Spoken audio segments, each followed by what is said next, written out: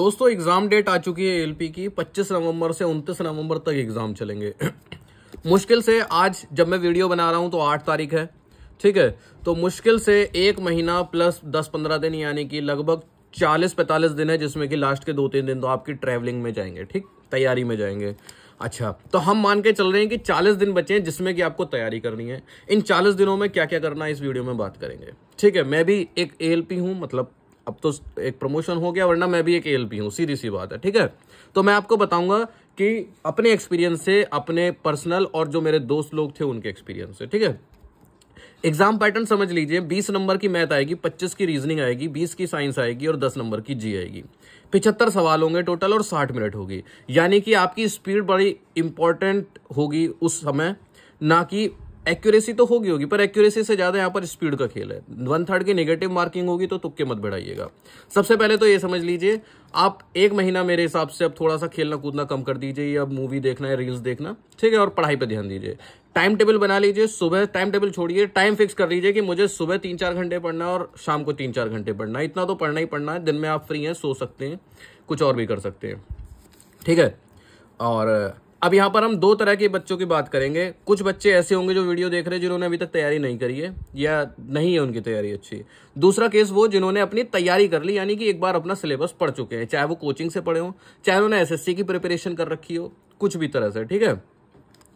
एक चीज़ और, अब अगर आप बहुत ज़्यादा बाइक वगैरह चलाते हैं, बहुत ज़्यादा घूमते वगैरह हैं तो अभी मत करिएगा क्योंकि, और बहुत ज़्यादा उल्टा सीधा मत खाइएगा क्योंकि अगर इस बीच में आप, क्योंकि अभी मौसम भी बदल रहा है तो अगर आप बीमार पड़ते हैं या फिर आपके कोई चोट वगैरह लग जाती है तो बड़ी ही समस्या आ जाएगी, तैयारी सब बिगड़ जाएगी, ठीक है? तो सेफ़ रह सेफ़ रहना अगले एक डेढ़ महीना।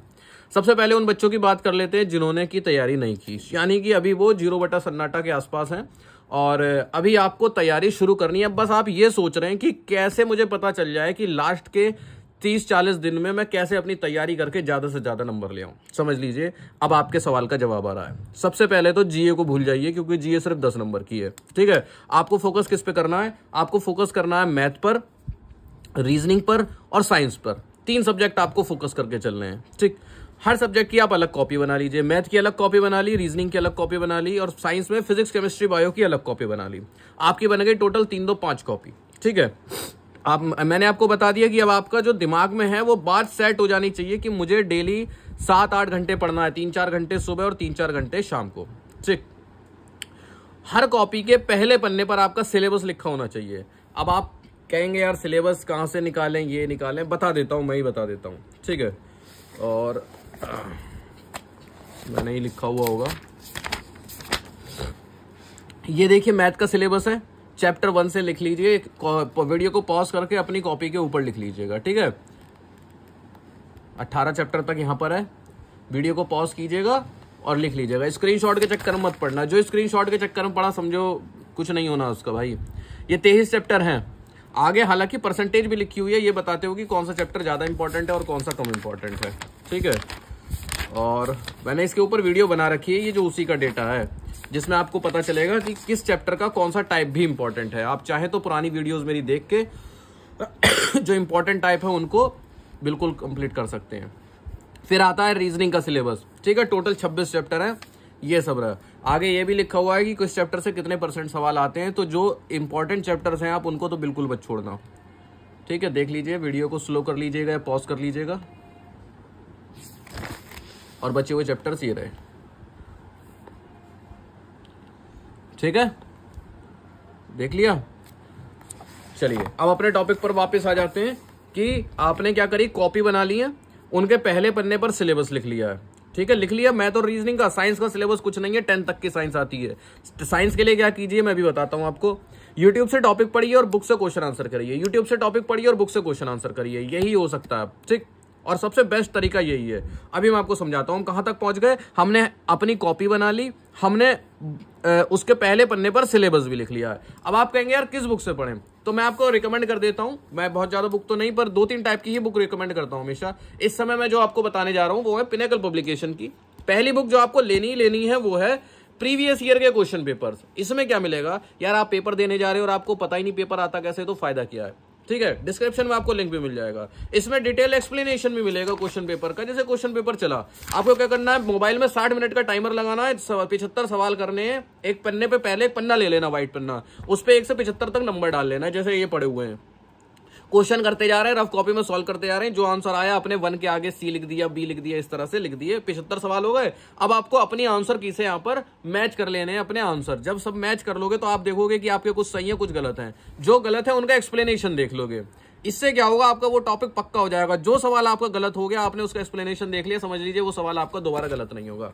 इसके अलावा आपको कितनी बुक चाहिए? इसके अलावा आपको चाहिए मेनली तीन बुक जीए की मैं नहीं बता रहा रेलवे के लिए, ठीक है? तीन बुक बता रहा हूँ। पहली है रीजनिंग की दोस्त। ठीक है?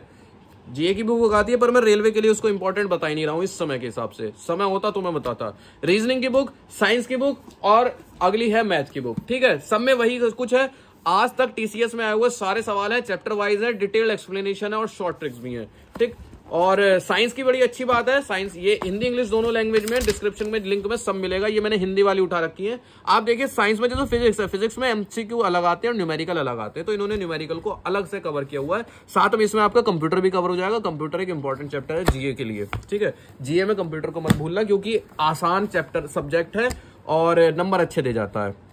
बुक्स हो गई, अब हम आगे की बात करते हैं। आपने कॉपी बना ली कॉपी के पहले पन्ने पर सिलेबस लिख लिया। अब आपको क्या करना है?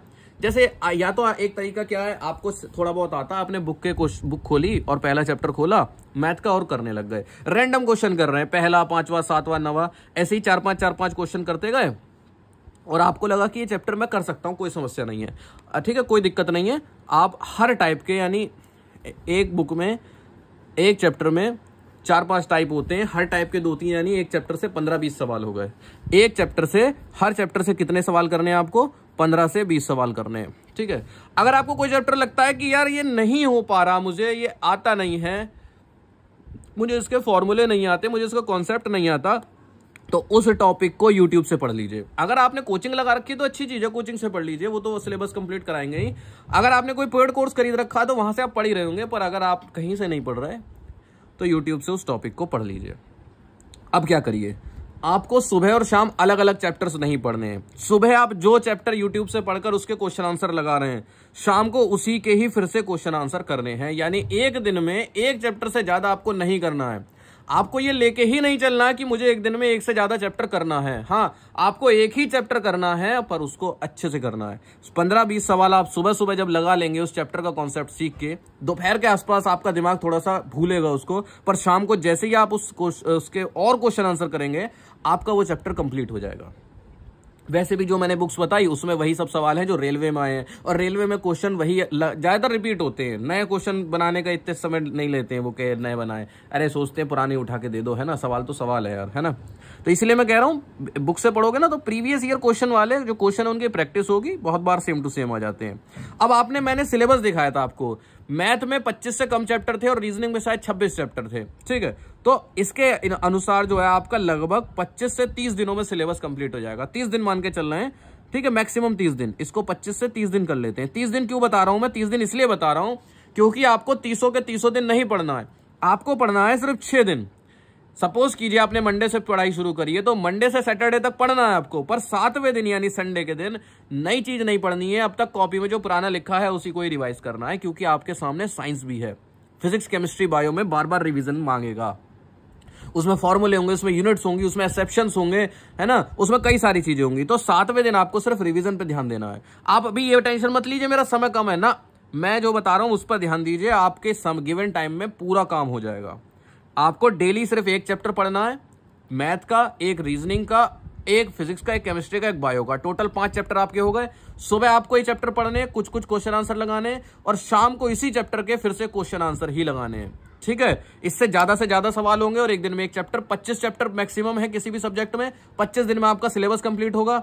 बचे अभी भी पाँच छह दिन। पाँच छह दिन में से क्या करेंगे हम? कंटिन्यू 25 दिन नहीं पढ़ेंगे।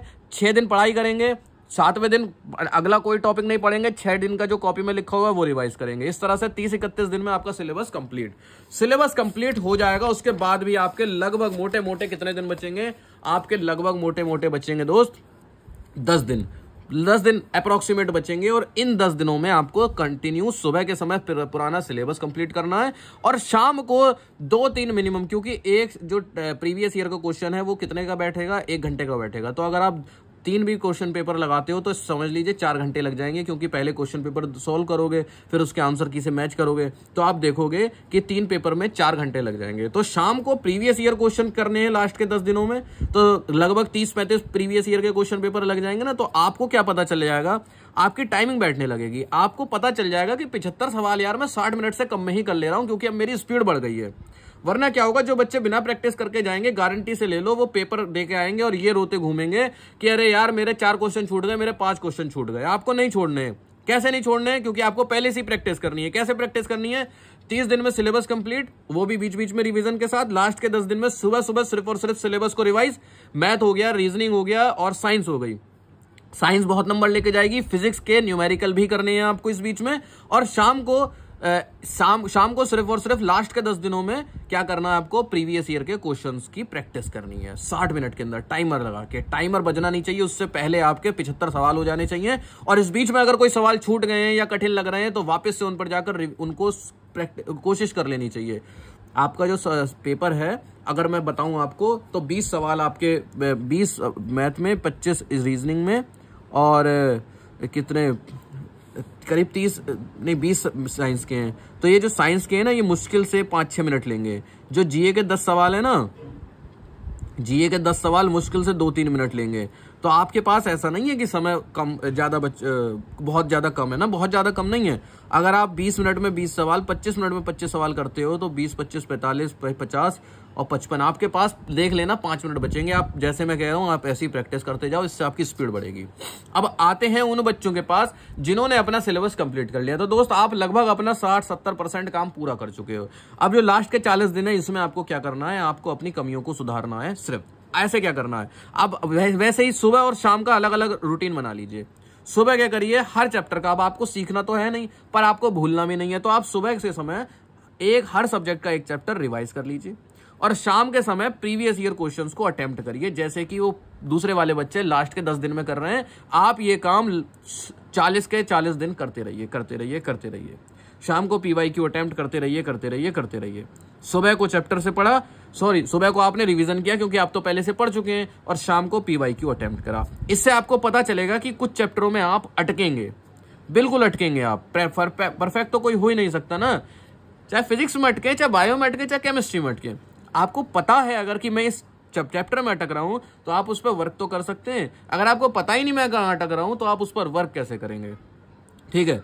तो आप math, reasoning, physics, chemistry, bio, सबका रोज एक चैप्टर पढ़ें यानी रिवाइज करें और शाम को उसके क्वेश्चन आंसर की प्रैक्टिस करें। इसके अलावा सीबीटी वन के अलावा अभी आपको किसी चीज़ पर ध्यान नहीं देना है, ना सीबीटी टू पर, ना साइको पर, ना कुछ।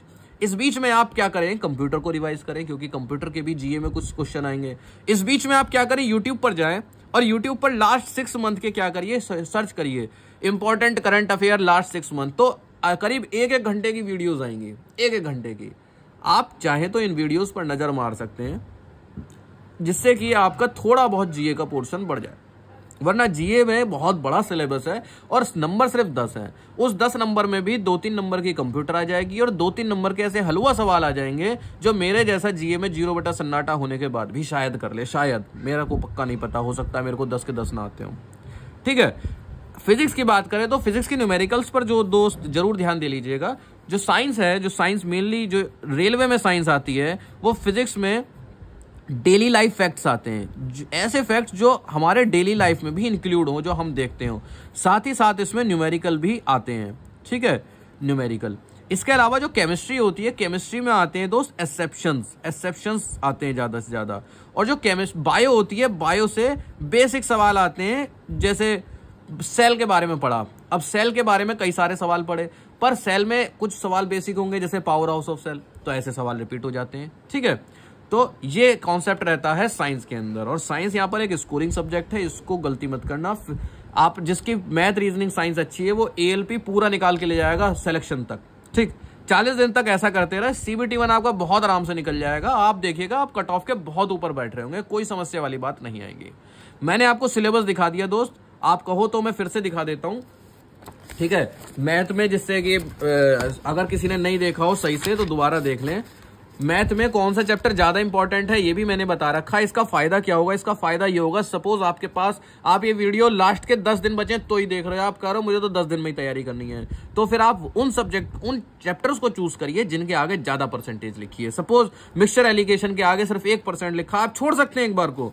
डिस्काउंट के आगे एक परसेंट लिखा छोड़ सकते हैं एक बार को। Boat and stream sequence series छोड़ सकते हैं, कम आते हैं सवाल इससे, ठीक है?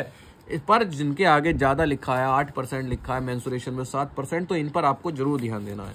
सेम केस रिवीजन में सॉरी रीजनिंग में रिवीजन कह रहा हूँ।